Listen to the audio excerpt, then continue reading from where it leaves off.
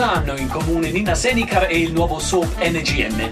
Le curve, la simpatia. Con icone e colori unici.